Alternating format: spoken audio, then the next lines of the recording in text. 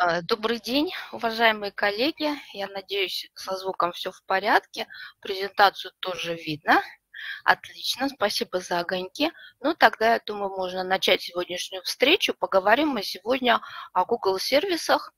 Возможно, по ходу у вас появятся какие-то интересные идеи, как их можно использовать у себя в школе, в библиотеке, в учебном заведении, в том месте, где вы работаете. Возможно, и для личного пользования какие-то идеи подсмотрите. Как всегда, ссылочки я буду отправлять в чат. Э, какие-то полезные материалы, примеры, если вам необходимы они, то, пожалуйста, переходите по ссылкам, смотрите, интересуйтесь. Презентацию, естественно, можно будет скачать. Вообще говорить о Google сервисах можно бесконечно, и не один вебинар, их достаточно много, э, поэтому объять необъятное будет очень сложно. Я выбрала 10 на мой взгляд, э, самых основных, самых интересных для использования. Вот о них сегодня и поговорим. Итак, Google сервисы – это пакет облачных приложений от компании Google, которые предполагают использование их для совместной работы, для управления проектами, для коллективной какой-то деятельности, для общения, для публикации материала, для многого-многого другого. Другими словами, это такие онлайн-сервисы, которые позволяют публиковаться в интернете и организовывать работу вокруг этих публикуемых материалов. Самый главный плюс Google сервисов – это то, что в нем есть возможности для совместной работы. Это самое главное, э, что выделяет эти сервисы среди всех остальных. Потому что они предполагают э, такие достаточно хорошие возможности для проектной деятельности, для исследовательской деятельности, в общем, для любой коллективной какой-то работы. Кроме того, все они предоставляются на бесплатной основе, и один раз зарегистрировавшись в Google и получив аккаунт, вы имеете доступ сразу ко всем этим сервисам. То есть не нужно в каждом регистрироваться отдельно. Большая часть сервисов переведена на русский язык, у них довольно простой интерфейс. Может быть, в них нет особой красоты, каких-то дизайнерских, э, дизайнерских изысков, но э, самое главное здесь простота и функциональность. Они могут работать на любых компьютерах с, любым, с любой мощностью, э, и, собственно говоря, за это их тоже уважают. Далее Google предоставляет возможности для облачного хранения ваших данных. Об этом я чуть попозже расскажу поподробнее. То есть вы можете не только что-то создавать в интернете, но и хранить какие-то свои материалы, загружая их со своего компьютера в облаке и иметь к ним постоянный доступ с любого устройства. Вот доступность на любых устройствах – это тоже большой плюс этих сервисов. Э, работая с материалами, как автор, как их владелец, вы можете разграничивать права доступа каждого участника. То есть есть вы можете предоставить Добрый день. Еще раз прошу прощения за технические неполадки. Вылетела из виртуальной комнаты. Не знаю, с чем это связано. На всякий случай убрала виртуальный фон. Ну, я надеюсь, все в порядке будет. Может быть, интернет не справляется и меня выкинул. Вот еще раз прошу прощения. Спасибо за терпение. Ну, давайте возвращаться. Остановились мы с вами на том, что я рассказывала о плюсах сервиса Google, рассказала практически обо всех, кроме последнего. Э, вы как владелец э, документов, которые располагаете на своем Google диске и даете к нему доступ, Э, имеете право не только разграничивать права всех пользователей, но еще можете отсматривать историю всех изменений, которые они вносят в ваш документ, и в случае чего можете вернуться к одной из версий. Вообще можно откатить назад, э, вернуть обратно документ без изменений. То есть вы весь процесс редактирования документов, которым даете доступ, тоже имеете право отсматривать, редактировать, исправлять. В общем, плюсов достаточно много. Давайте смотреть, как это реализуется все на практике. Что нужно, если у вас нет ни Google аккаунта, с чего проще начать, что можно сделать? Но мой совет, например, такой, что проще всего работать с Google документами из браузера Google Chrome, поскольку это его родной браузер, и, естественно, придется завести аккаунт Google.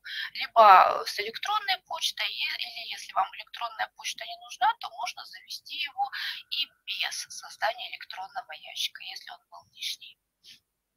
Так что э, определяемся сначала. Браузер Google Chrome, конечно, скачивать не обязательно. С Google документов вы можете получать доступ из других браузеров. Просто из Google Chrome доступ к ним будет намного проще. Ну, сейчас он считается одним из лидеров в поисковых системах, поэтому наверняка многие из вас ими как раз и пользуются. Если не пользуетесь, то вот я оставила здесь на слайде ссылочку на Google браузер. Если она вас заинтересует, то можно перейти по ней, попасть на официальный сайт этой компании, скачать себе Google Chrome и потестировать. Понравится вам этот поисковик, понравится вам этот браузер, с ним можно будет работать и дальше. Здесь все достаточно просто. Что мне нравится в Google браузере, это возможности поиска. Здесь действительно очень неплохие возможности. У меня их два установлены. Есть и Яндекс поиск, и Google поиск. Google выигрывает у Яндекса, по крайней мере, в поиске картинок. Google дает больше возможностей, больше каких-то интересностей. Здесь очень хорошее ранжирование в поиске. Здесь можно сортировать, отбирать только э, большого формата, например, изображение по цвету, по типу, например, клипарт очень часто приходится искать. Здесь есть отдельная вкладочка для поиска клипарта. Еще здесь есть хорошая э, вкладочка для поиска изображений, которые не защищены авторским правом, то есть которые можно использовать в некоммерческих целях. Вот он сейчас у меня в красной рамочке выделен. Нам нужно э, в правах использования выбрать опцию лицензия Creative Commons, и тогда вот все картинки, которые выйдут, можно без ограничений использовать. Это хорошая штука, если вы работаете по созданию презентаций, видеороликов, и вам нужны такие изображения, то Google здесь тоже дает возможности неплохие. Ну, хватит о браузере, давайте ближе к делу поговорим об аккаунте Google. Аккаунт тоже завести достаточно просто. Здесь стандартные поля, имя, фамилия. Э, придумываете себе имя пользователя какой-то латиницей это будет ваш почтовый ящик. Если вам почтовый ящик не нужен, он будет, кстати, на домене gmail.com. Если вам он не нравится, мне, например, эта электронная почта, честно говоря, не нравится. Она у меня существует как рабочий вариант, он у меня есть, но я пользуюсь ей крайне редко, она не очень удобная. И если вам вообще категорически не хочется ничего такого заводить, можно использовать текущий адрес электронной почты и привязать к ней Google аккаунт можно. Ну, естественно, придумать пароль. Э, дополнительно здесь есть настройки, вы можете для восстановления своей системы, вдруг мало ли что произойдет, привязать к телефону э, свой аккаунт и указать резервную почту на случай, если там аккаунт будет заблокирован или будет скрыт. Ну, после того, как я зарегистрировалась, вот такое окошечко появляется, и после этого я имею доступ ко всем основным сервисам Google. Они отображаться будут с правой стороны в виде такого значка с точечками, там 9, по-моему, точечек в виде квадратика. Если на него нажать, откроется весь списочек справа вверху. Вот он у меня сейчас открыт. Это не все сервисы. Дальше можно вниз листать, их будет намного больше. Это только начало. Э, с чего здесь начать? Ну, во-первых, можно присмотреться к Google Диску. Это один из основных здесь в списке. Это то самое облако, о котором я уже говорила. Это облачное хранилище, э, где вам дают 15 гигабайт свободного пространства бесплатно. Если вам мало этих возможностей, то за дополнительную плату можно подключить больше. То есть это такое ваше личное облако, на котором вы можете размещать все материалы, которые посчитаете нужным. Например, закачать сюда презентацию PowerPoint и дать ссылку э, для просмотра всем желающим. Так очень удобно. Не надо пользоваться, допустим, флешкой, переносить с компьютера на компьютер. Вы можете один раз загрузив презентацию, потом рассылать всем ссылки и делиться своей работой, например. Э, здесь можно хранить любые ваши материалы, которые посчитаете нужным для загрузки. Плюс здесь есть опция «Создать» в красной рамке, она сейчас выделена. Вы можете прямо здесь в самом диске создавать разного вида документы. Если нажать на эту кнопочку, то появится вот такой списочек, это даже не полный, э, что здесь можно создавать. Основные, о которых я буду по большей части сегодня рассказывать, вот они в красной рамке выделены. То есть мы здесь видим, что можно создавать документы, таблицы, презентации, формы. Форма – это опросы, голосование и викторины. Рисунки, карты, сайты, виртуальную доску можно создать, и это еще не полный перечень. Тут еще можно смотреть и листать дальше. То есть прямо не выходя из Google диска, вы прямо здесь создаете свои работы, они тут же у вас сохраняются. Вы их можете потом скачать себе на компьютер. Это касается документов, таблиц, презентаций. Их можно скачать и использовать уже в режиме офлайн. То есть тут может и экспорт, и импорт быть. Главное, следим за счетчиком, который вот у меня сейчас слева внизу, там у меня написано, это скриншот моего хранилища, используем 2 гигабайта из 15. Э, в основном этого размера вполне хватает для хранения материалов. Если какие-то уже не нужны, их можно просто удалять, расчищать хранение, то есть это хранилище время от времени производить тут ревизию. В принципе, 15 гигабайт для работы вполне хватает. Давайте посмотрим на самое простое. Обычно начинают э, с Google документов. Это самое простое, что здесь можно создать. Как вы видите, тут э, дизайн очень напоминает вордовский документ. Здесь практически все те же клавиши. Э, я думаю, что особенно тут не надо перечислять и рассказывать, что какая клавиша символизирует. Тут все понятно. Здесь основные редакторские функции. Шрифт, цвет, размер, маркированные списки, что тут форматирование различного рода, и плюс наверху еще панель инструментов для дополнительной работы. Э, файл – это все манипуляции с документом, то есть копировать, создать копию, допустим, скачать, сохранить, опубликовать и так далее. Правка, естественно, отвечает за исправление изменения в документе. Вид – это разный способ показа этого документа. Э, самое главное здесь, пожалуй, кнопка «Вставка». Она отвечает за э, добавление внутрь каких-то элементов. Э, например, внутрь вот этого текста можно вставить картинку, диаграмму, гиперссылку, естественно. Дальше кнопка «Формат» за форматирование отвечает. Э, для добавления таблиц специальная кнопка есть таблицы. Ну и инструменты и дополнения – тоже дополнительные инструменты, которые вы будете использовать в работе. Давайте посмотрим на некоторые основные опции. Ну, про текст рассказывать не буду, тут все понятно. Добавляем, исправляем, редактируем. Если нам нужно вставить картинку, естественно, вставляем через вставку. Можно и копипастить, копировать, вставить, эта функция тоже работает. Э, в контекстном меню, которое вызывается правой клавишей мыши, вы можете настроить это изображение. То есть есть тут даже вот такие возможности для ну, не сказать, что наложение фильтров, но, в общем, подредактировать можно. То есть можно сделать прозрачным, ярким, контрастным и так далее. Что еще? Э, что касается таблиц через вставки таблица, либо отдельная клавиша, которая отвечает за таблицу, мы ее добавляем. Э, что здесь можно? Примерно то же самое, что и в вордовском документе. Определиться с количеством ячеек, количеством столбиков, добавлять, вставлять новые столбцы и строчки, тоже здесь все возможно. Вот у меня как раз сейчас э, вставка открыта, можно посмотреть сразу весь список возможностей. Рисунки, диаграммы, таблицы, формулы, гиперссылки, комментарии, закладки языке оглавления. То есть, в принципе, все, весь основной функционал PowerPoint здесь присутствует, не PowerPoint, а вордовских документов здесь присутствует диаграммы. Если вы захотите вставить диаграмму, то вам предложат заполнить вот такую вот табличку excel э, в которой вы какие-то данные вводите, и у вас диаграмма тут же нарисуется в вашем, в вашем документе. Такая опция здесь тоже присутствует. Э, Еще один интересный инструмент, э, вкладка «Инструменты», называется «Голосовой ввод». Я, правда, не пробовала. Если вы пробовали, то можете в чате поделиться. Это возможности для надиктовывания. То есть какой-то тут э, роман вряд ли получится надиктовать, хотя можно, конечно, попробовать, но да, если у вас какие-то там профессиональные слова и термины, может быть, не получится, а обычный какой-то текст, в принципе, можно попробовать, подключив микрофон, надиктовать. Э, сервис понимает слова запятая, точка, новая строка, абзац, восклицательный знак, вопросительный знак. В общем, можно попробовать, дать глазам отдохнуть, попробовать голосовой ввод. Такая опция тоже предусмотрена.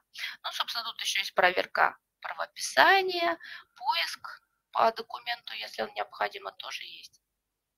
Ну да, медленно текст набирается. Если в рукопашную быстрее, то, естественно, можно ручками. Э, далее. Теперь собственно говоря, после того, как у нас документ создан какой-то, мы там что-то написали, либо создали просто чистую форму и предлагаем ее для редактирования, э, выбираем кнопку «Настройки доступа», она будет с правой стороны, большая синяя кнопочка. Нажимаем на нее, открывается окошко совместного доступа. А дальше я вам уже говорила о разграничении прав пользователей. Вот, пожалуйста, здесь можно предоставить доступ к этому документу разным видам возможностей. Можно дать доступ э, для просматривания, то есть чтобы просто могли пользователи зайти почитать. Для комментирования, если вы написали какую-то статью, вам нужна обратная реакция, э, но чтобы вам ее не исправляли, а просто высказали свое мнение. Открываем для комментирования. Ну и, наконец, если какая-то совместная деятельность, открываем для редактирования и смотрим там за изменениями. Плюс можно еще, собственно говоря, доступ только э, для приглашенных персон. Такая возможность здесь тоже есть. Кто может работать в Google документе? Э, все, кому вы дадите ссылку. Сначала вы выставляете доступ, копируете ссылку и рассылаете ее. Э, всем, кто будет заходить по этой ссылке, не обязательно иметь Google аккаунт. Они могут вообще его не регистрировать, просто зайти с любого браузера и работать в этом документе. Собственно, все, все это касается всех остальных сервисов Google, и в этом тоже большое удобство. Как это все можно использовать в работе? Э, сейчас еще перед этим пару слов по поводу скачивания. Э, все, что касается скачивания и публикации в интернете, это все находится под кнопкой «Файл». Э, нажимаем на нее и выбираем, если нам нужно в интернете опубликоваться, получить ссылку на вот эту публикацию для размещения на сайте и в блоге, то мы выбираем опцию «Публикация». После этого можем ее в сайт, в блог вставлять, этот документ свой.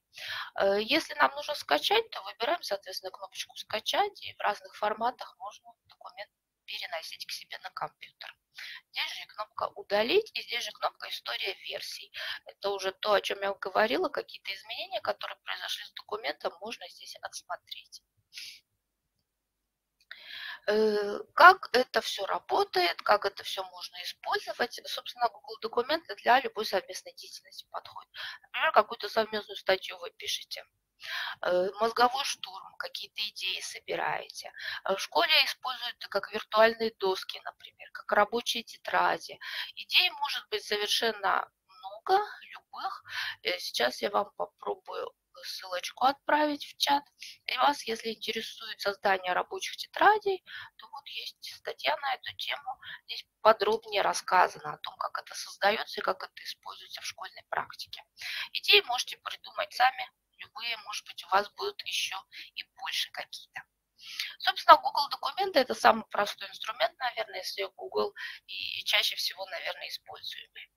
Чуть посложнее таблицы Google – это не так часто используемый инструмент, они напоминают таблицы Excel. Если вы с ними работали, использовали в работе, то здесь практически все то же самое. Э, вот так она выглядит, как у меня сейчас на экране. Это опять-таки скриншот моей собственной таблицы.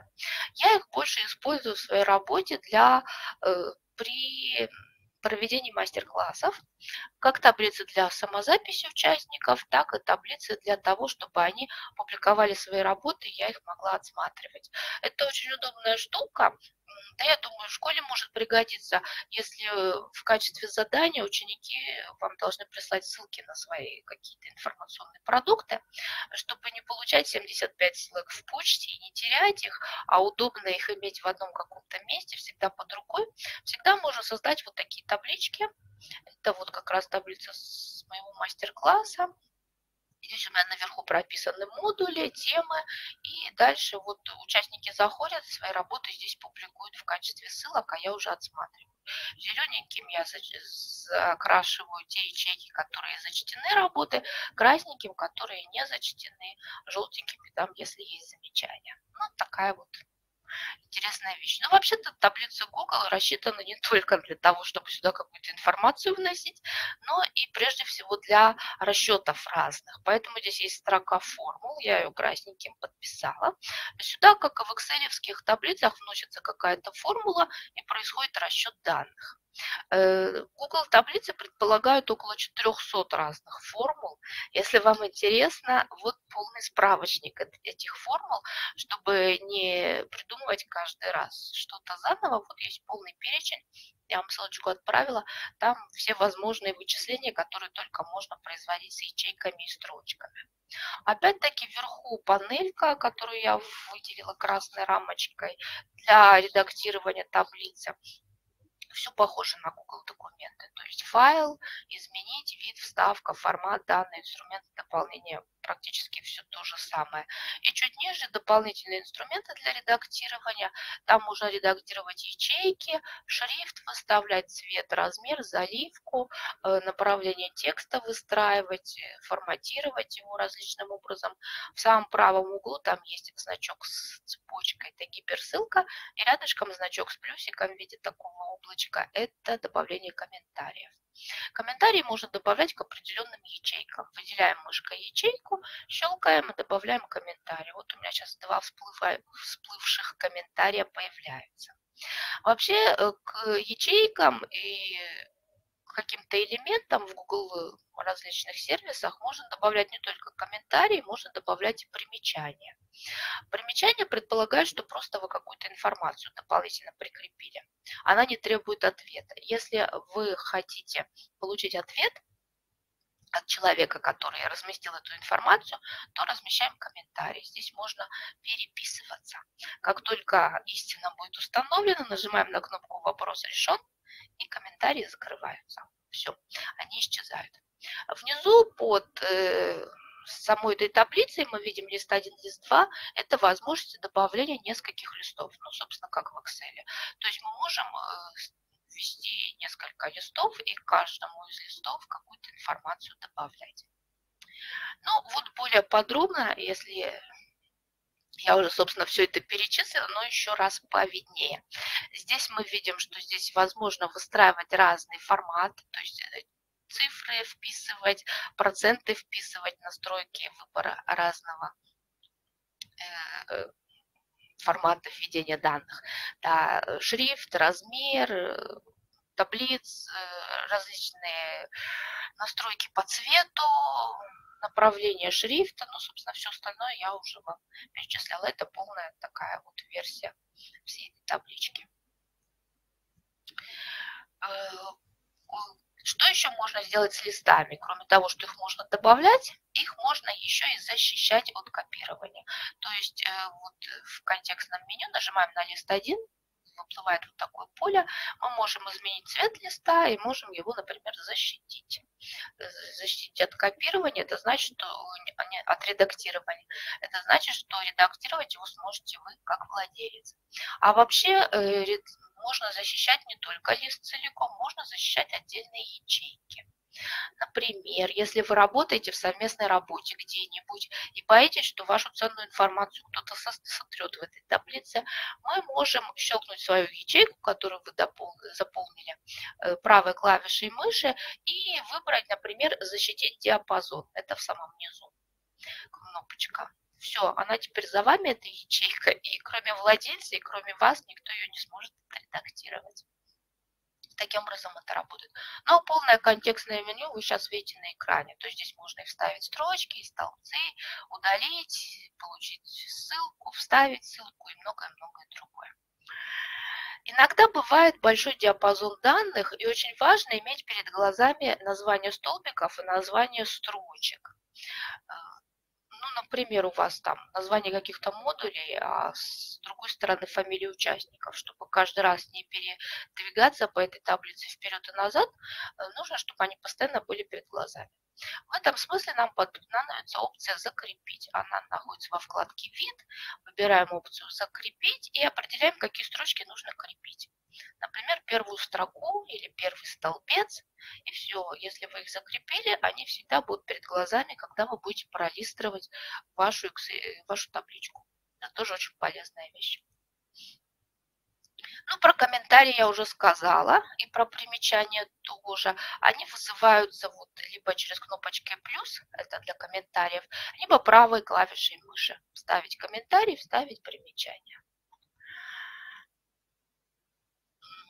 О формулах я уже сказала, и 400 формул вам в чат отправила.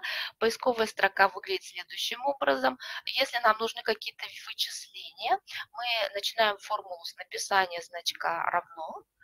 Э, дальше начинаем вписывать формулу. Если вы их знаете наизусть, можно вручную ее вписать.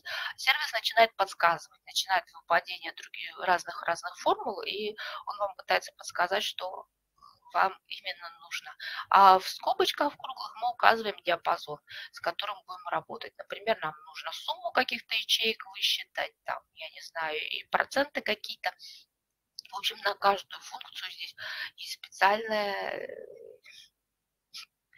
на, на каждое вычисление есть специальная функция. В справочнике, который я чуть выше ссылку дала, там они все перечислены, поэтому ваше время отбирать я не буду, тем более, что, может быть, не всем это интересно, не все будут заниматься здесь подсчетами. Но на всякий случай, вдруг это вам пригодится, информация такая есть.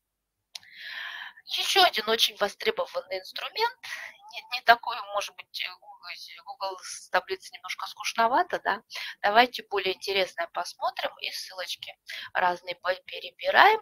Ну, это, например, Google презентация, тоже очень востребованный наряду с Google документами, может быть, на одном уровне. Инструмент для создания презентаций. Э, многие функции похожи на PowerPoint, и он по функционалу, по внешнему виду тоже напоминает PowerPoint. Если вы с ним работали, то, наверное, имеете представление. А я вам в чат отправила две ссылки, два примера на совместную работу. Это создание совместных презентаций в библиотеке силами библиотекарей и читателей. Первая ссылочка – это собирали список интересных книг для подростков, такой коллективный список. Примерно такой же можно устроить и в библиотеке, то есть создать пустую презентацию, создать пустые слайды и предложить читателям заполнить каждый свой слайд своими предложениями, замечаниями, там, пожеланиями, рассказами о книгах, в общем, многое-многое другое. Можно так собирать. Вторая ссылка – это ссылка коллективная работа уже, я думаю, такая совместная библиотека и читателей, называется она «Шире круг». Это э, проект Вики Сибириады, где собирали информацию о разных интересных народных играх, которые приняты в той или иной местности. Игры и современные, и забытые, и довольно такая интересная получилась энциклопедия в виде презентации. Это тоже совместная работа. Э, что еще умеет Google презентация, кроме совместной работы? Э, внутрь презентации можно вставить изображение, видео и даже аудио. Есть несколько шаблонов оформления, то есть вы можете ее начать с нуля, либо можно из PowerPoint свою презентацию загрузить и ее редактировать уже в Google презентациях. Э, в обратную сторону это тоже работает. На экспорт можно скачивать в любом из форматов. Или PowerPoint, или PDF, или в какие-то более такие экзотические форматы. Ну, естественно, нужен Google аккаунт для работы. Давайте смотреть, как это все работает. Так выглядит, э, это моя, опять-таки, презентация, которую я заскриншотила. Так выглядит э, окошечко для создания презентации. Все на русском языке, все довольно понятное. Опять знакомые нам кнопки, которые я уже озвучивала, они из сервиса в сервис перетекают.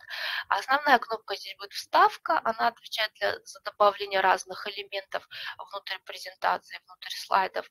Ну и кнопка файл э, отвечает за публикацию, за ссылки, которыми можно делиться. И за код, который можно встроить на страницу сайта и блога. Э, кнопка слайд э, занимается оформлением слайдов. Ну и, собственно говоря, основные не такие важные, но тоже можно пощелкать, посмотреть. Итак, ну, во-первых, э, в разделе слайды, что интересного. После того, как вы выбрали, здесь есть, кстати, шаблоны для оформления, их не очень много. Можно что-то из этого выбрать, либо из PowerPoint загрузить какой-то слайд и на его основе уже работать. Э, в разделе слайд можно выбрать э, переходы между слайдами. То есть здесь э, можно максимально приблизиться к PowerPoint. Если важны переходы между слайдами, выбираем во вкладке «Переход». Здесь есть разные виды анимации, их может быть не так много, как в PowerPoint, но основные присутствуют можно применять к слайдам ко всем или каждому по отдельности. Э, нужны ли Google аккаунты всем участникам? Э, нужен аккаунт вам как автору, создателю. Если вы просто дадите ссылку на эту презентацию и разрешите доступ всем, у кого есть ссылка для редактирования, то аккаунты им не нужны. Э, вы, когда зайдете и увидите там совместную работу, у вас будут очень интересные вещи. Если это не авторизированный в Google пользователь, у вас будет наверху написано «неопознанный дельфин», там какая-то неопознанная капибара, еще какие-то животинки. В общем, так вы узнаете, что у вас в документе, в презентации кто-то работает, и он не авторизирован как Google. Вот. Но работать им можно, здесь без проблем. Э, далее, вот, пожалуйста, меню «Вставка». Если интересно, что здесь можно вставить, картинки с компьютера, с Google диска, по ссылке, там огромное количество возможностей. Э, текстовое поле, понятно, текст какой-то, аудио. Аудио добавляется только из Google диска. То есть вам сначала на свой диск его надо загрузить, а потом уже в презентацию вставлять. Не очень удобно, но вот такой вариант. Видео с YouTube по ссылке загружается или опять-таки с Google диска можно. Фигуры таблицы диаграммы составляются тут же. Диаграммы бывают разные, линейные, столбчатые, круговые и графики. Э, чтобы их создать, вызывается опять Google табличка, вы ее заполняете, она у вас рисуется на экране. Даже Word Art здесь присутствует, как в PowerPoint, тоже такое есть линии, естественно. Э, есть небольшие возможности для анимации, можно добавлять ссылки и опять-таки комментарии. Вот. Так что вот основные возможности здесь достаточно широкие. Опять-таки не сказать, что здесь много красивости, здесь все больше на функционал работает. Здесь самое главное, чтобы это работало чтобы это было быстро. Э, о переходах я уже говорила, ну, вот еще один более подробно здесь показала. Например, переход из затемнения вы можете настроить даже скорость перехода. Медленную, среднюю, быструю. Здесь достаточно подробная такая анимация. Эффектов немного, но настройка большая. Google презентации используют не только для совместной работы, э, часто делают в Google презентациях выставки. Ну вот я вам покажу выставку для примера. Э, она сейчас скриншотом на экране, чтобы по ней побродить, я вам дам ссылку. Э, в чем смысл этой выставки? Ну, вы, наверное, даже по скриншоту догадались, что здесь книжная полка, на которой представлены книги. Чтобы узнать о какой-то книге, надо щелкнуть на картинку. Откроется слайд с информацией об этой книге. Э, это возможно сделать в Google презентациях э, с помощью внутренней навигации. Как это делается? Нам нужно к каждой книжке, каждой обложке прикрепить ссылку на слайд, на котором будет подробная информация об этой книге. Э, сначала создаются слайды со всеми этими книгами, а в конце первым слайдом идет вот такая вот стартовая страница, скажем так, на которую мы крепим вот слайд у меня такой, э, какую-то полочку я придумала, например, скачала в клипарте через Google поиск, нашла э, вот полочка. У меня есть обложку книжек, я вставила как картинку, а дальше я делаю это через меню ссылка. Выделяю книжечку, щелкаю внизу, э, вверху на кнопочку ссылка, у меня открывается вот такое поле. Можно сюда вставить просто гиперссылку на веб-ресурс, например, на электронную библиотеку, эту книгу можно почитать. Если нам нужна ссылка на слайд, мы нажимаем на кнопочку «Слайды в презентации», открывается весь список ваших слайдов. И мы выбираем из этого списка нужный. Главное знать, какой он номер программы. Щелкаем, сохраняем и, собственно говоря, вот и все. Внутренняя навигация таким образом настроена. Так вы можете устраивать навигацию между слайдами. И вашим пользователям не надо пролистывать всю презентацию. Они могут отдельные части смотреть презентации с помощью вот таких внутренних гиперссылок, которые будут их ориентировать. Э, к любой картинке, к любому тексту вы можете приделать вот такую гиперссылку да, саму полку можно найти как рисунок. Э, в любом поиске, хотите в Яндексе, хотите в Гугле, хотите в любом. Э, я брала так, книжная полка Клипарт. Нашла очень много всяких штучек таких вот полочных. Так что можно и с одной полкой, и с двумя, и целый книжный шкаф. Они все есть в интернете совершенно спокойно, их можно найти. Ну, вот таким образом можно устраивать вот такие книжные выставки на импровизированных виртуальных стеллажах. Это как один из вариантов. Комментарии. Вы можете создать выставку и можете даже разрешить доступ э, для комментирования. Э, слайды надо нумеровать. Э, нет, нумеровать-то не надо, но вы примерно должны знать, на каком слайде у вас какая книжка. Потому что он миниатюрок показывать не будет, просто покажет номер слайда и все. Просто, я думаю, не такая большая выставка из 50 слайдов, чтобы ну, примерно знать, что на какой. А нумеровать он будет сам автоматически все ваши слайды.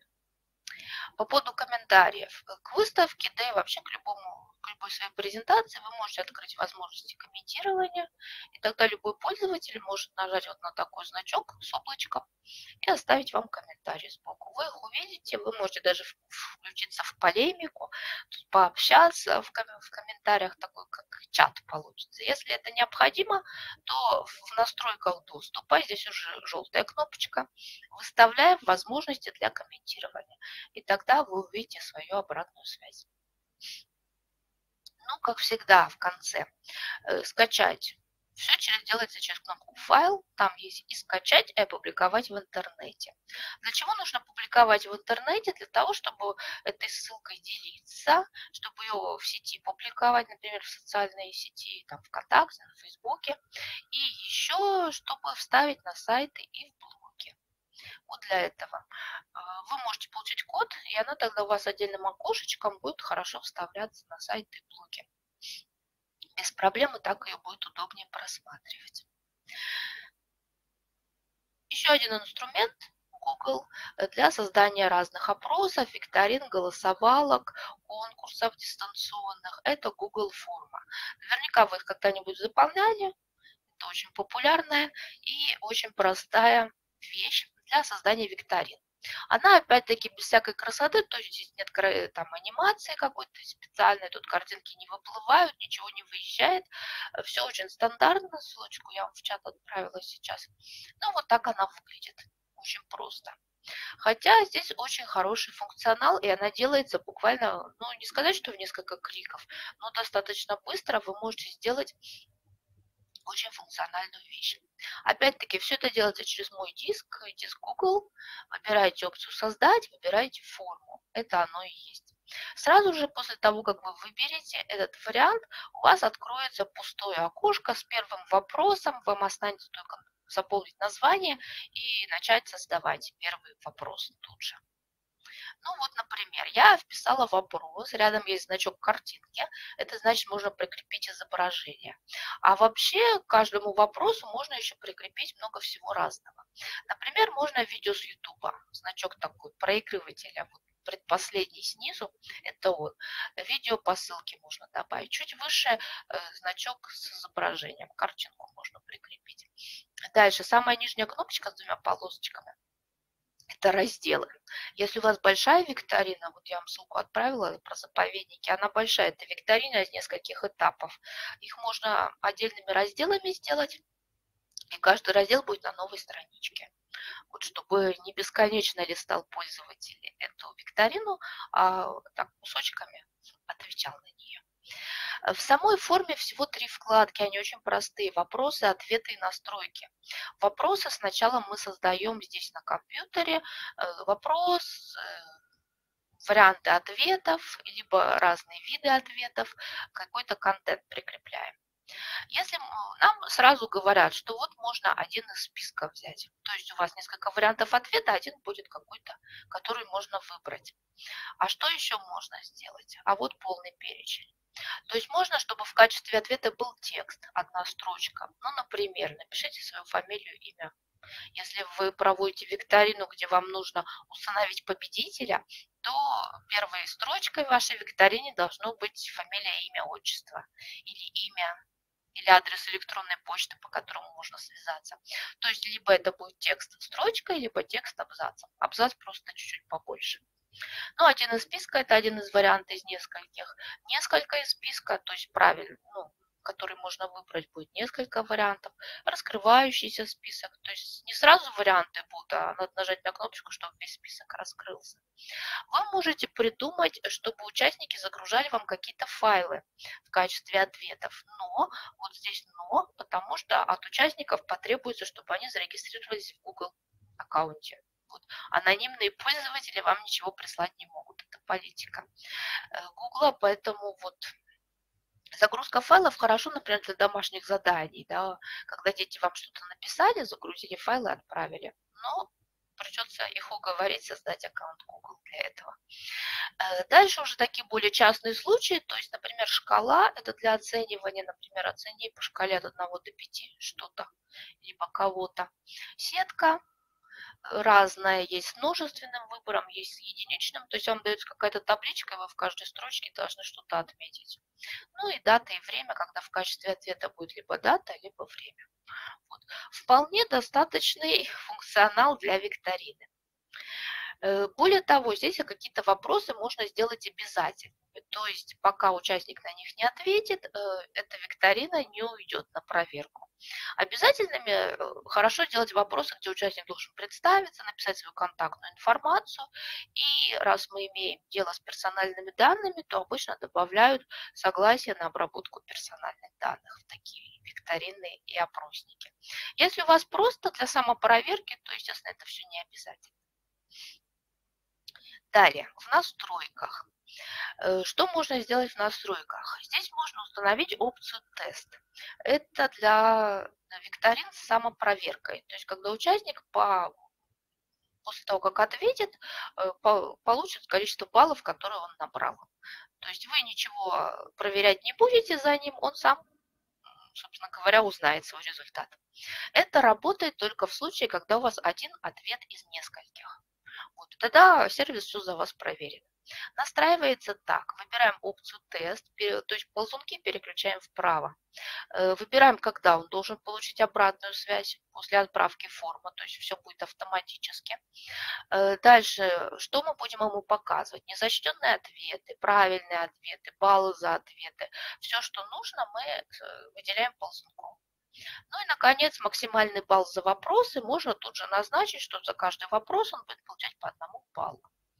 Потом вручную можно на каждый вопрос установить какое-то определенное количество баллов. Если вам один не нравится, можно какие-то вопросы сделать посложнее, какие-то попроще. Уже делается это вручную. Вот. После того, как вы выполнили настройку тест, у вас рядом с каждым вопросом появится такая кнопочка внизу «Ответы» вы на нее нажимаете, входите, отмечаете правильные ответы, назначаете там количество баллов. После этого у вас сервис будет автоматически все проверять. Это очень удобно для учителей, да и для библиотекарей тоже, когда э, у вас э, все будет посчитано в баллах. Вы, кстати, можете сразу не показывать, допустим, баллы за ответы, незачтенные или правильные, а огласить их ученикам уже на следующем уроке. Ну, в общем, как хотите. Э, что еще здесь есть в настройках полезного? Вверху кнопочка палитра, она отвечает за э, оформление. Оформление здесь очень простенькое, вот такое. Мы можем выбрать цвет для э, оформления, картинку загрузить. Это называется изображение для колонтитула, верхний колонтитул. Выбрать шрифт, ну и, собственно говоря, все на этом такая очень простенькая настройка. Рядом э, значок с глазиком – это предпросмотр, то есть мы можем сразу посмотреть, как это все будет выглядеть для пользователя. Во вкладке «Ответы» мы можем видеть уже циферкой рядом, сколько ответов получено, а если мы эту вкладку откроем, мы получим статистику по ответам. Она может быть представлена в виде диаграмм, в виде графиков. Статистика будет по каждому вопросу, в целом по всем пользователям, по каждому отдельному пользователю. Там три вида статистики. Э, после того, как мы создали викторину, нам все в ней понравилось, нажимаем на кнопку «Отправить». И можем отправлять по электронной почте, получить ссылку, получить код. Это вверху кнопочки. В социальных сетях можно делиться. Э, Еще здесь есть дополнительная опция добавить соавторов. Если вы не один викторину хотите создать, а сразу пригласить кого-то в совместное творчество, можно. Здесь есть такая опция тоже для совместной работы. Ну а дальше ссылку распространяем в сети, можно на сайт вставить, и участники начинают с вашей викториной работать. А вы вот такую статистику получаете. Ну, то, что я сказала, есть в общем сводка, есть сводка по вопросам, есть по отдельным пользователям. Вверху зелененький такой квадратик – это Google табличка. Вы можете всю эту информацию собрать в Google таблицу. Например, вам нужно установить, когда какой участник у вас ответил на какой вопрос. Э, ну, например, вы призы там какие-то разыгрываете, либо вы учите, или вам очень важно э, проконтролировать. В этом случае лучше создать Google табличку, просто одним кликом она создается, и в этой Google таблице будет вся информация по каждому участнику. Будет информация, когда он отправил, в какое время, все его ответы, и вы сможете это все просматривать, контролировать, выставлять оценки. При необходимости все это у вас будет храниться на Google диске. То есть вы в любой момент можете посмотреть, и как только какая-то новый ответ поступает, у вас тоже все это отображается в Google табличке. Это очень удобно, чтобы не заглядывать каждый раз в ответ и не проверять здесь. В Google табличке все изменения тут же будут видны намного лучше. А вот эти красивые картинки, это можно брать для статистики. Они все копируются, вставляются, вы можете ими отчитываться. Ну, давайте э, к более крупным формам перейдем. Google карты. Все мы ими пользовались, э, у нас у всех в смартфонах они присутствуют. Э, Google карты можно создавать самому. Свои маршруты, свои виртуальные экскурсии, интерактивные карты. Вот пару ссылок я вам сейчас отправлю. Первая ссылка по следам э, героев Жюля Верна, поскольку в книгах Жюля Верна встречается огромное количество разных географических объектов. В одной только книге про капитана Гранта их очень много. Ну, вот такую Google карту создали совместными усилиями.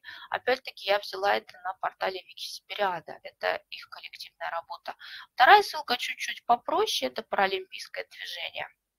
Э, тоже там Google карту, но она чуть проще, бескартиночная практически. Ну, в общем, выглядит она вот так, как у меня на скриншоте, то есть есть метки на карте. Здесь нет какого-то конкретного маршрута, вы можете кликнуть в любую метку, с левой стороны откроется окошечко, в котором будет фотография, э, текст какой-то, гиперссылка, она может вести на дополнительные какие-то веб-ресурсы. Ну и, как вы видите, метки там бывают разные, между ними маршруты можно прочертить. То есть вот все основные функционалы здесь вот такой. Не очень опять-таки красивый, тут каких-то анимаций нет, э, специальных спецэффектов, но здесь все очень просто и быстро, опять-таки, главное, это все создается. Google карты создаются, опять-таки, выходим из Google диска, все оттуда, через кнопку «Создать», добавляем «Моя карта», открывается какая-то карта Google, на которую мы будем наносить метки. Вся эта карта состоит из меток и маршрутов между ними. Сначала метки. Они добавляются очень просто через поисковую строчку. Google карта очень подробный, вы можете не обязательно населенный пункт вписать, но я вот свой любимый Мурманск вписала. Можно любой другой объект, можно адрес вписать. Все это довольно хорошо ищется на карте. Нажимаем на значок лупа, он нашел нам этот объект, обозначил его зелененьким. Если все сделано правильно, нажимаем на кнопку «Добавить на карту», и первая метка у нас добавлена.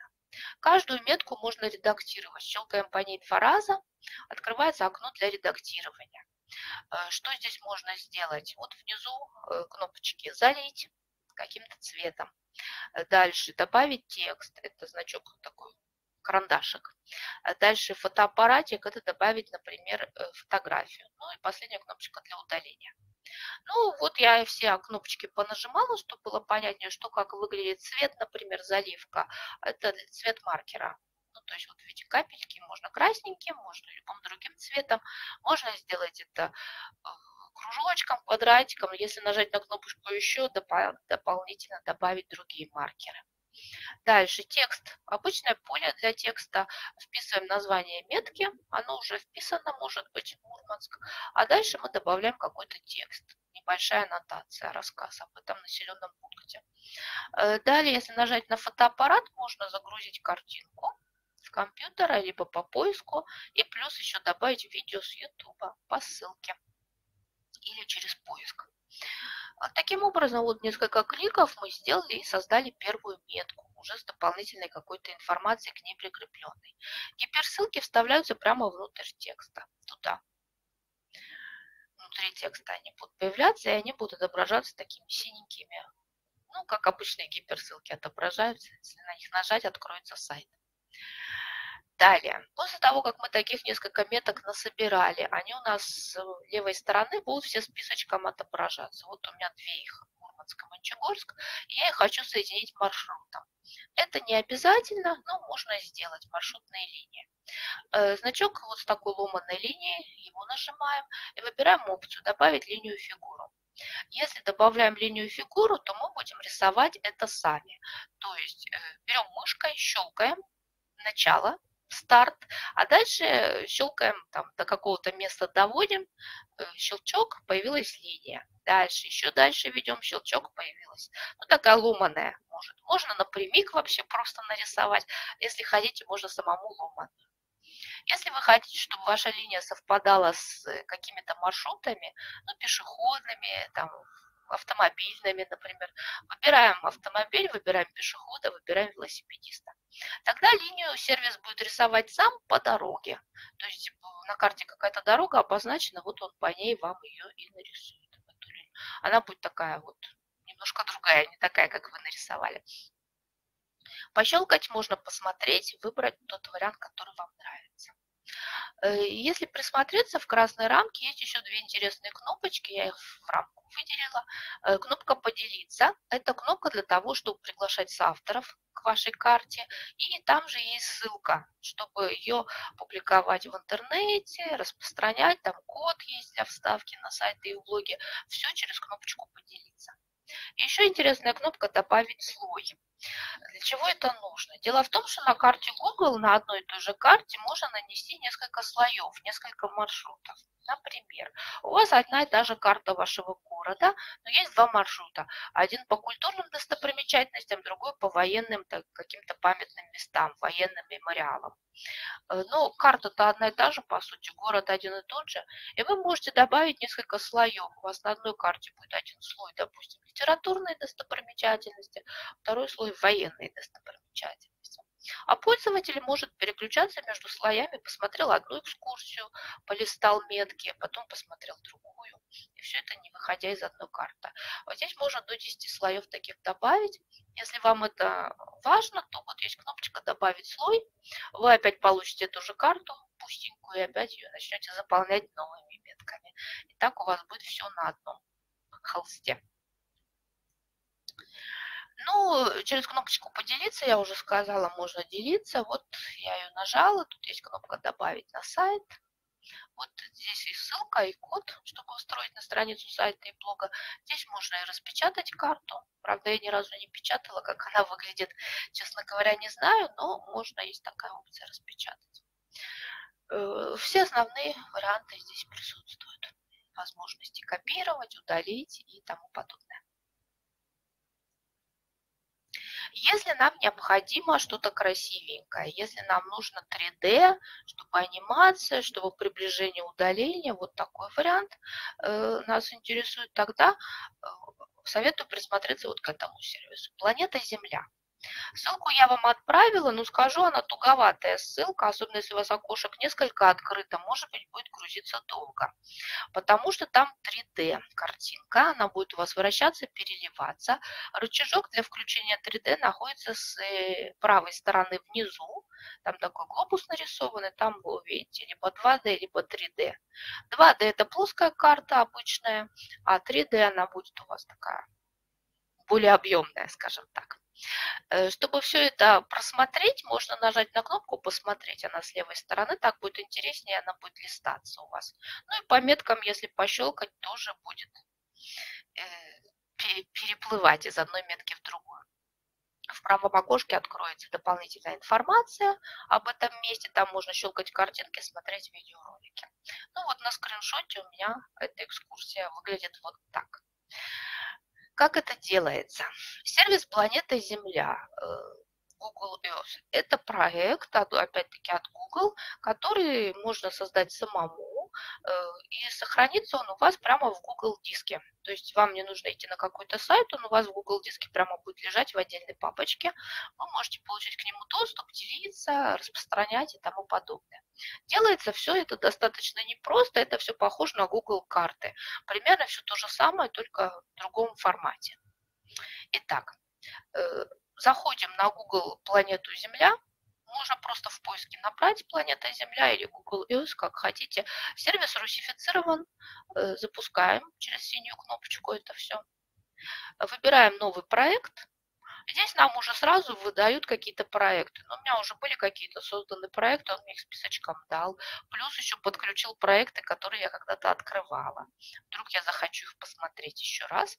Но нам уже нужен новый проект для создания. Мы его открываем. Выбираем опцию «Создать на Google диске». Это самый простой вариант. Ну а дальше все как в Google картах. Придумываем название и начинаем добавлять объекты через кнопочку «Новый объект». Э, добавляем метку, как в Google картах. То есть у нас должна появиться поисковая строка, и мы в эту строку вносим название населенного пункта. Ну, Санкт-Петербург. Вот он у меня его нашел. Я нажимаю на «Добавить в проект», причем Google э, «Планета Земля» тут же подключает сюда картинки, тексты, то есть все, что у нее в запасниках там имеется по поводу этого населенного пункта, она тут же нам представляет в окошечко. Вот. Если эта вам информация не нужна, ее можно стереть.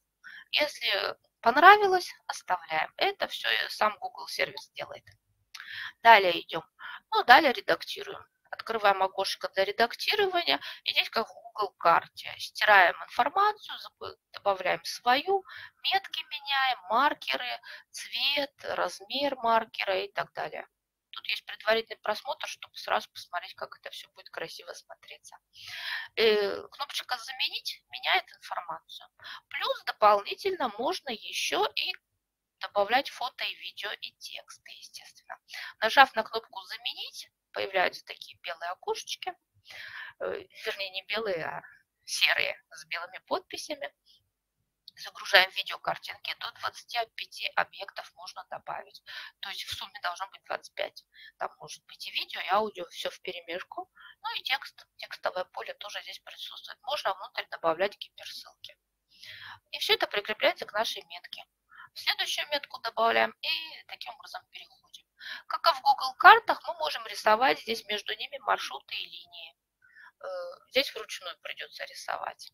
Щелкаем в старт, дальше тянем линию, там ломаную, либо прямую, какую угодно. В каждой линии мы можем еще добавить информацию. То есть вот я начертила какую-то линию между двумя городами, а к этому маршруту я могу добавить тоже и фото, и видео, и текст. Ну и вдруг это нужно, поэтому можно на самой маршрут тоже нанести какую-то информацию. Вдруг понадобится, такая опция тоже есть. И вот таким образом мы добавляем метки. В заключение, можно выбрать стиль карты. Их здесь несколько. Вот то, что у меня сейчас открыто, называется исследователь. Такая зелененький вариант. Здесь может быть просто земля, э, моя э, какой-то свой особый вид карты. В общем, пощелкаем здесь четыре варианта. Какой нравится, такой выбираем. Э, дальше, функцию просмотра я поставила 3D, потому что это интересный вариант ну, можно э, отключить, тогда будет обычная плоская карта не так интересно. 3D все-таки поинтереснее будет. Ну и, собственно говоря, последний этап делимся.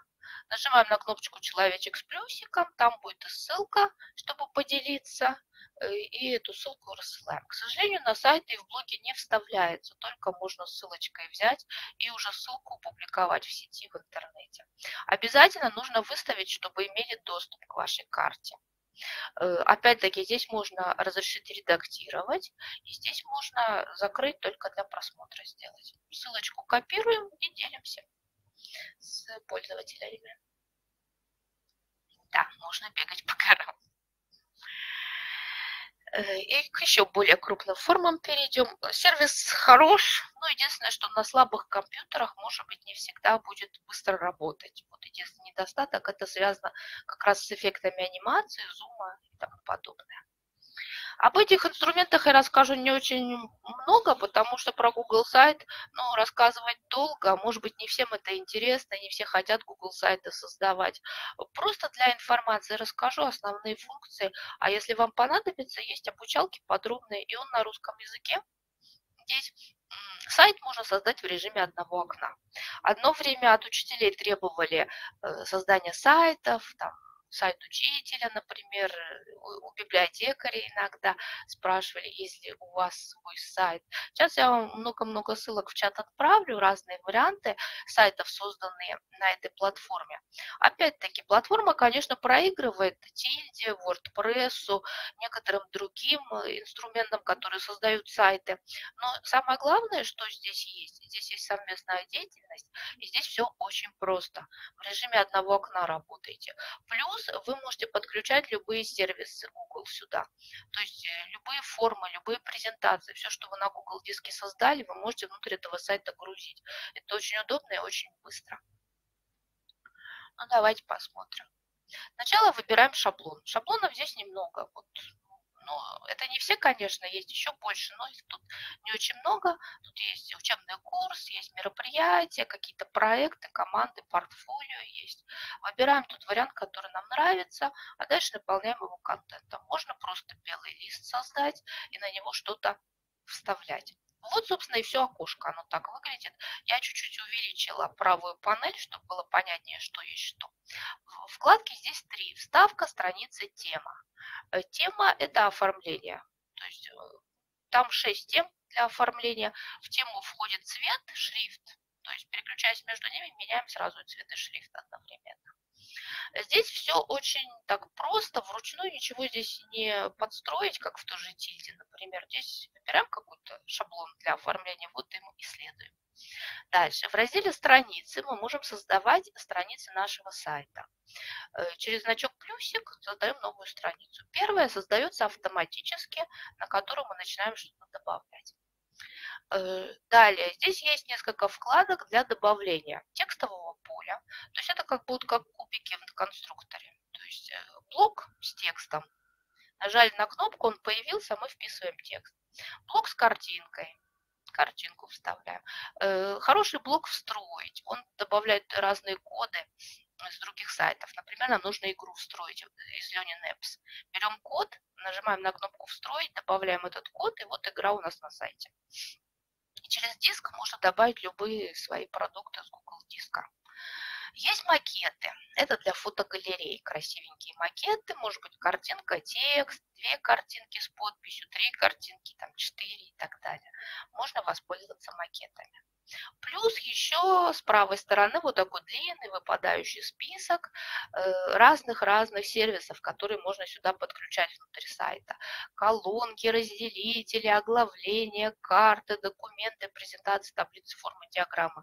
В общем, все-все-все с Google диска, все то, о чем я вам уже рассказывала. Все это добавляется, как конструктор щелкаем, он появляется, мы заполняем этот блок, переходим к следующему. Тут никуда переключаться не надо, работаем все время на одной страничке. Значок плюсик с человечком – это ссылка на ваш сайт. Здесь можно поделиться, подключить соавторов, все через эту кнопку. Естественно, когда мы перед тем, как делиться, не забываем нажать на кнопку «Опубликовать». Он появится в сети.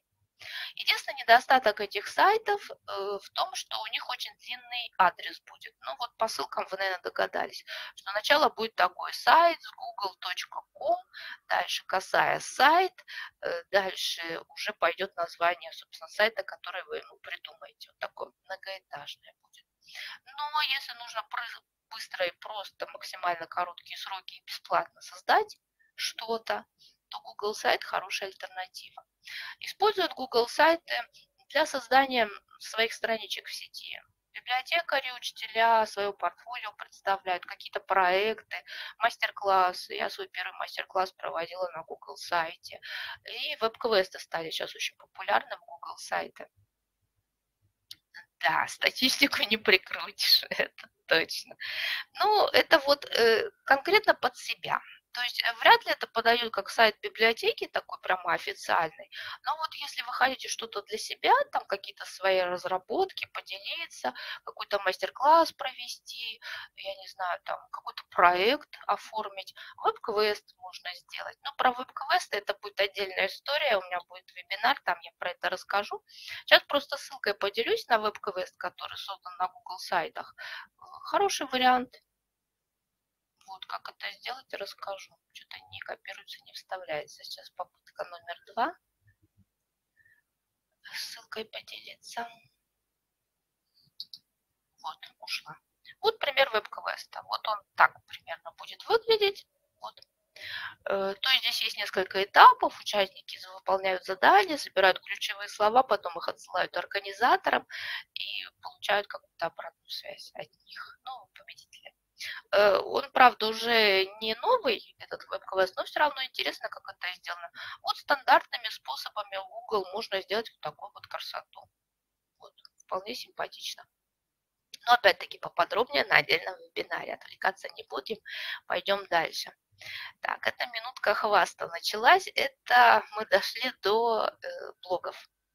Э, Google предлагает свою платформу для создания блогов.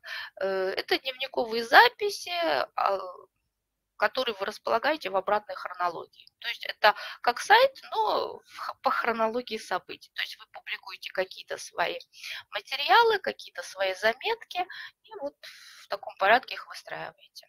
Одно время это было очень популярно среди э, библиотекарей, было очень много библиотечных блогов, проводился конкурс всероссийский библиотечных блогов. Вот. Сейчас э, их становится все меньше и меньше, почти вымирающий вид библиотечные блоги. Я вам опять-таки много в чат отправлю разных ссылок на разные блоги, какие они могут быть. Э, платформа, она не сказать, что особо развивающаяся. Э, здесь, ну, давайте сначала так сделаем. Здесь есть шаблоны для оформления. Можно э, шаблоны адаптировать под себя, но не сказать, что шаблоны прямо красивые. Мне за мой блог «Роза ветров север» тоже много критики поступало, не всем нравится. Гамма, и шрифт, и цвет, и размер, в общем, по-разному все было. Э, здесь тоже нет особой анимации, здесь все очень просто и функционально. Платформа эта хороша для тех, кто только-только делает первые шаги в блогере, он пока не собирается там как-то профессионально этим заниматься, ну вот хочет завести свой блог, можно и как проект, можно для себя, может там опять делиться своими наработками какими-то, э, то вот с, блог, с блогером как раз это хороший вариант. Все, я все ссылки отправила, сейчас будем листать дальше презентацию. Э, потому что здесь не нужно э, заморачиваться по поводу форматирования. То есть здесь не нужно какие-то конструкторские кубики добавлять, как в Google сайтах, например. Здесь просто текст и картинка внутри. Сначала нам предложат придумать название, выбрать шаблоны. Шаблонов здесь немного, и они уже несколько лет не меняются. Мне кажется, что Google забыл про эту свою платформу, потому что шаблоны здесь очень простые. Они вот на начало 2010-х годов были, наверное, актуальны, сейчас немножко уже архаично смотрятся. Но здесь не самое главное шаблон, самое главное содержание. Придумаем название, придумаем адрес своего блога. До конца будет blogspot.com. Вот такой будет домен. Далее, а вот это вот окошечко для блога. Это изнанка платформы. Здесь вордовский документ практически один в один. То есть вот э, такая вот палитра инструментов для редактирования текстов. Плюс внутрь можно ставить картинки, видео с YouTube, гиперссылки и код можно встроить на любой какой-то объект. Вот это мне здесь больше всего нравится, что можно любые коды подключать, они очень корректно отображаются, и внутрь можно и виртуальную выставку вставить, и э, там, интерактивную книгу, игру, викторину, поскольку я с информационными технологиями много работаю, это для меня важно. Все. Э, здесь есть, конечно, свои свои минусы. Э, помним о том, что когда мы создаем сайт и блог, мы размещаем свою информацию не на своем родном хостинге, а на сайтах и платформах, э, серверы которых находятся в Калифорнии. То есть при любом нарушении каких-то правил Google вас могут заблокировать, удалить, ну или заморозить ваш сайт или блог.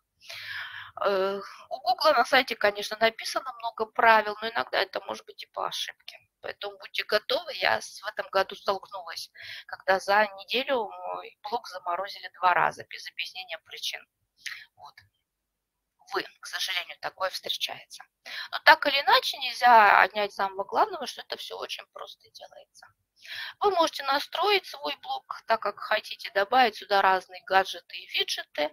Это имеется в виду боковая панель. Там вы можете и статистику выстроить, и своих подписчиков э, нарисовать, и самые популярные сообщения в блоге, картинки, цитаты, разные списки и тому подобное можно. пристроить. Э, здесь есть опять опция совместной работы, вы можете пригласить авторов. Очень хорошая кнопочка «Список чтения».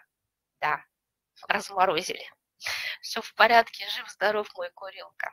Я думаю, заморозили по ошибке, потому что контент мой не удалили, значит, он ничего не нарушил. Ну, кто-то на меня пожаловался. Вероятно, так.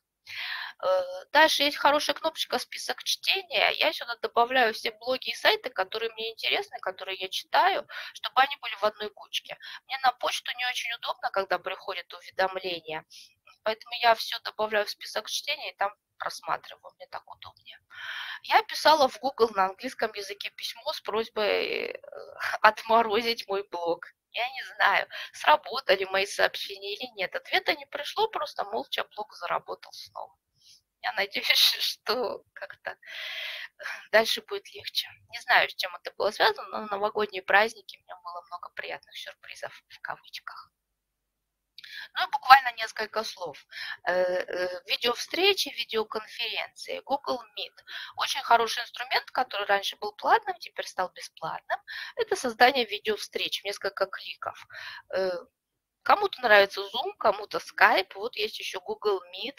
Э, создается здесь встреча достаточно быстро. На практике я не работала с этим сервисом, чисто в теории знаю, там с, с человеком поработала, а вот так большие мероприятия не проводила, но мне понравилось, что здесь все довольно несложно, опять-таки все русифицировано.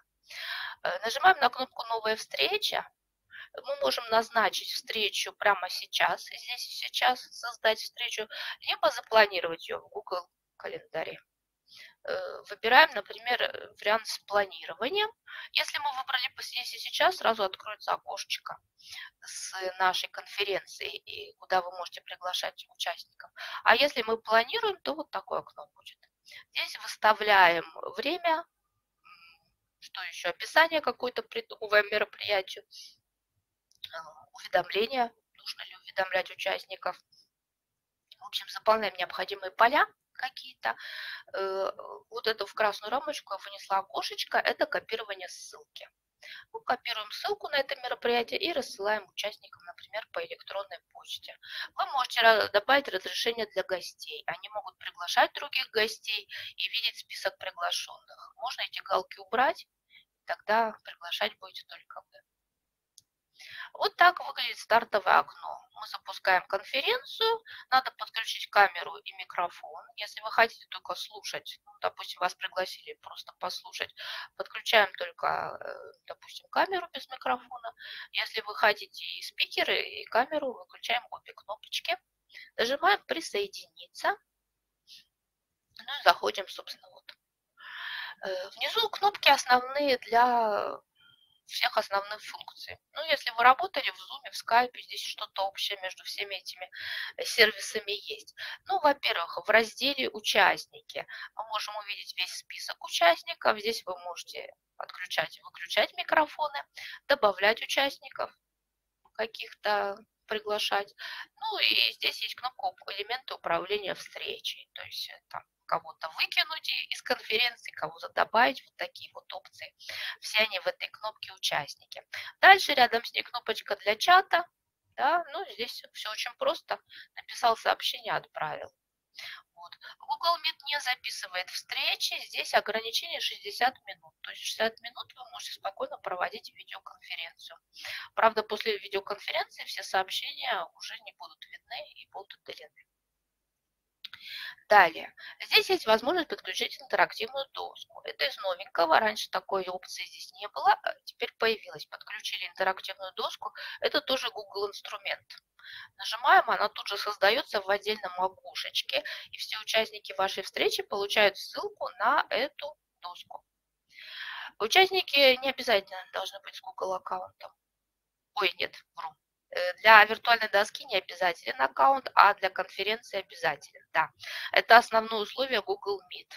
Вот. А он не требует установки программ, как, например, Zoom, но он требует авторизации. Да, если я вам прислала сейчас ссылку на конференцию, то первое, чтобы у вас запросили, это регистрацию Google. Доска сохраняется у вас, поскольку вы организатор встречи, она у вас на Google диске будет. Все, что вы нарисуете, все, что вы расскажете, у вас сохранится на Google диске, и вы можете потом это, этими материалами пользоваться. Вот. Вы можете, кстати, выбрать у себя на диске уже какую-то готовую доску, которую вы начали заполнять, либо создать новую. Она вот так в отдельном окошечке будет. Ну и про демонстрацию экрана. Демонстрировать можно весь экран, можно демонстрировать одно окошечко, и можно вкладку, если вы в видеоролике показываете анимацию и так далее. Да, естественно, это для дистанционного обучения. Но, к сожалению, в ряде учебных заведений учителя ограничены, допустим, сказано в Zoom работать, работаем в Zoom и ни шагу назад. Но если вдруг у вас есть возможность выбора, можно и Google Meet присмотреться, в общем, неплохой инструмент, на мой взгляд. Далее, э, собственно, вот теперь о самой доске поподробнее. Доска вообще очень простая, тут даже обучалка, наверное, не потребуется, хотя инструкция есть. Э, вот такое пустое поле, досок может быть. Ну, можете попробовать, кстати. Вот немножко на виртуальной доске поэкспериментировать. Вот к доске не обязателен аккаунт. То есть вы можете сейчас совершенно спокойно эту ссылку открыть, она у вас откроется. Это пустое поле, на которое вы можете добавлять свою информацию. Здесь есть ручка для писания, ластик, чтобы стирать. Вы можете добавлять стикеры, картинки с компьютера, разные фигуры, тексты писать. И если вы что-то объясняете, тут есть еще опция лазерной указки. Странички вверху добавляются кнопочкой плюсик, можно добавить новую страничку. Но здесь там уже 12 страниц, по-моему, создано. Так что можете посмотреть, как это понажимать, можете что-нибудь написать мне там на память, если захотите. Ну, а все очень просто. Совместный доступ предоставляется через ту же синюю кнопочку «Совместный доступ». Разрешаем доступ в качестве редакторов всем, у кого есть ссылка. Копируем эту ссылку и рассылаем таким образом. То есть эту доску вы можете использовать и на видеоконференции, и саму по себе просто в, не в таком режиме. Разослать ссылку, и там участники вам набросают какое-то содержимое, а вы уже затем посмотрите, что из этого вышло. Ну вот вкратце так вот. Основные опции я постаралась объяснить, рассказать, что сама умела и знала. Э, естественно, это не вся информация. У Google сервисов есть хорошая справочная база. Э, вы можете туда обратиться, Google справка, ну, вот на всех слайдах есть обучалки, там как раз много ссылок на Google справку. Там самая подробная и самая актуальная информация по сервисам, потому что они немножко меняются. Тут же Google Meet поменял интерфейс, доска виртуальная немножко другая стала. То есть вся актуальная информация в Google справке, плюс еще какие-то инструкции я добавила от себя. Вот. Если есть какие-то вопросы, предложения, пожелания, то я еще в чате. Сейчас я посмотрю, если у меня какие-то вопросов нет. Все хорошо тогда. Вот. Э, немножко задержала, прошу прощения опять за технические характеристики. Я поняла, что проблемы с виртуальным фоном, поэтому меня выбивает. Больше его не буду использовать. Честно, пионерская. Вот. Э, надеюсь, информация была вам полезной. Э, если вас интересует сервис YouTube, который причисляется Google сервисом, то об этом будет еще один вебинар отдельный, там уже более подробно именно о YouTube. Ну, а про Google Class я уже не стала рассказывать, это тоже тема отдельной беседы. Если кому-то Google Class интересен, то есть много вебинаров на Директ Академии по этому вопросу, и я свой проводила в прошлом году. Можно найти в поиске и посмотреть, если Google Class вам интересен, можно узнать о нем на YouTube-канале Директ Академия. Вот. Спасибо большое за внимание. Да, вот отлично, доску попробуем. Ну, тогда удачи вам в освоении сервисов и до новой встречи.